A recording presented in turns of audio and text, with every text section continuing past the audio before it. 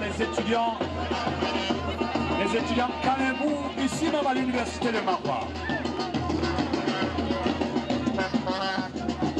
Voilà. La culture étant la seule chose qui nous reste. Ces jeunes étudiants ont gardé et conservé cette culture.